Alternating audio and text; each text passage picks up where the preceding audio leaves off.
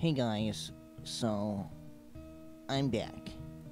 So many of you probably were and have been wondering where I've been, and uh, it's really hard for me to say. I just know that a couple events happened that made me feel really depressed and like I couldn't really do anything, quite frankly. And this just really got me down the dumps. I just kind of ran away from home, and, you know, many people didn't hear from me for how many months I've been away? You know, Like four months now?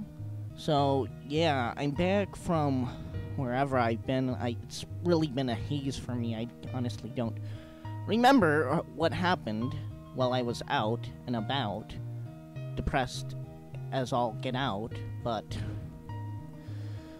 Huh. I do know this, however. Recently, I got a boost of inspiration to revitalize my determination.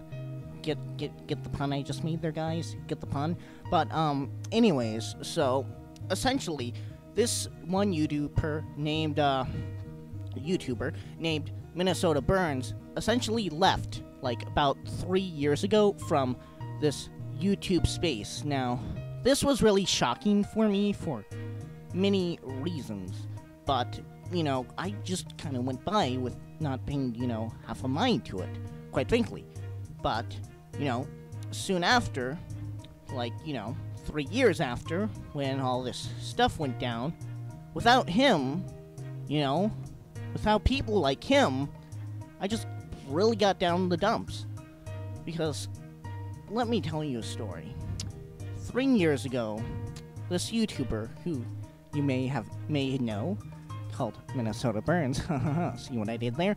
Um, pretty much, he got on YouTuber, to YouTube, and he essentially, you know, introduced himself to everybody, but he also called everybody, including me beautiful.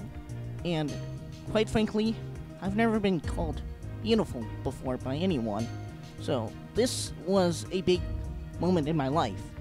And it really changed my outlook on things. It made me feel so much more determined.